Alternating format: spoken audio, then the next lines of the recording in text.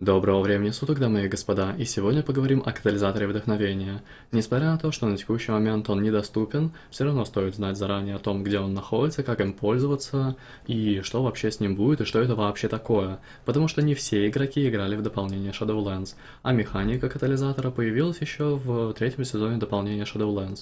Что получается, для чего вообще нужен этот катализатор и почему его люди так ждут? Катализатор вдохновения позволяет превратить наши эпические вещицы в сетовые, если они вообще могут быть сетовыми. То есть под это подходит шапка, плечо, нагрудник, перчатки и ножки.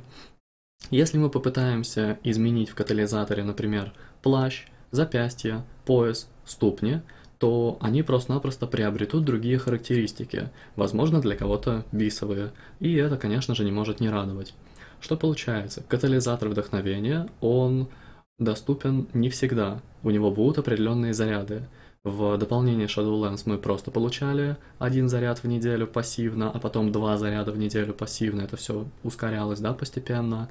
В дополнение Dragonflight компания Blizzard решила это маленько поменять, и теперь мы будем делать какую-то небольшую серию цепочек квестов там, какие-то активности будем делать, и только после этого мы будем получать заряд. И этим зарядом могут пользоваться все персонажи, учетные записи. Что-то как-то там так накручено, довольно-таки интересно. Ну, в общем, я не думаю, что это будет тяжело. Пройти там пару данжей, быть может, убить каких-нибудь рейд-боссов.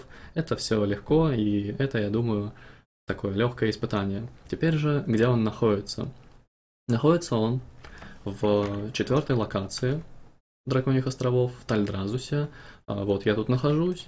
Прекрасно вдалеке видно городок, и прекрасно видно координаты. 59, 54. Вот тут, внутри, находится моб. Антука, хранительница катализаторов. Логично предположить, что тут будет катализатор. А откроется он 18 января. Ждем 18 января. Набираем высокогирных эпиков, какие-нибудь там 421 ножки, например, почему бы и нет. 421 перчаточки, 421 нагрудник, другие вещицы. И будем сюда их нести постепенно и получать сетовый бонус. Сетовый бонус, мы прекрасно знаем, дает нам апгрейд по урону, по отхилу, и, конечно же, мы меньше получаем там урона, будучи танками, например. А, само собой, прилетаем, делаем там все, что нужно, и переделываем наши эпики в сет. А, как-то так получается, потому что в последнее время люди спрашивают, как катализатор, как катализатор уже заждались. Ну, ждать осталось немножко, реально, ждать осталось совсем чуть-чуть. На этом все. Всех вам благ, счастья, здоровья, берегите ноги, мойте руки, не забывайте о ссылочках в описании. До скорого!